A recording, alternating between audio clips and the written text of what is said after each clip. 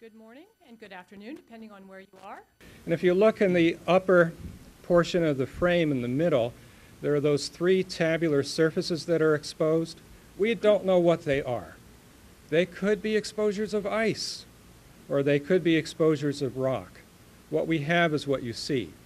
So what we're going to do over the next few sols is go back with the robotic arm and the robotic arm camera and get closer in shadow and turn on the blue, green, and red LEDs so we can get some color data.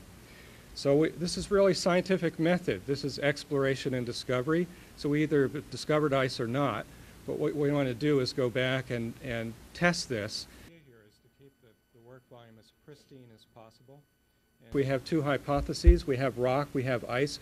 We're really pushing for ice, but we don't know if that's the case yet. And the real way to do this is to continue to look at this feature and then get out to the work volume and get the soil and expose whatever ice is underneath and see if we see a similar tabular shallow structure that we can sample and bring the material back into the spacecraft to really nail and test the hypothesis of ice versus rock.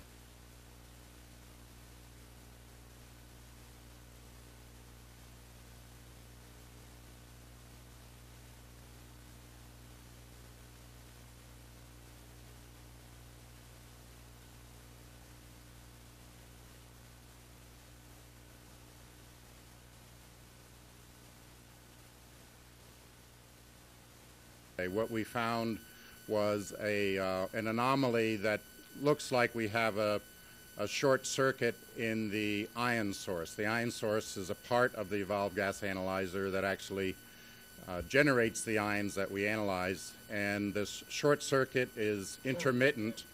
Uh, we are working on some diagnostic packages that we'll send up in the next few days, and we're actually quite optimistic that we have a workaround that will allow us to operate the instrument with nearly the full uh, capabilities that we had when it left the, left the ground. All right, if there are no further questions, as we sign off,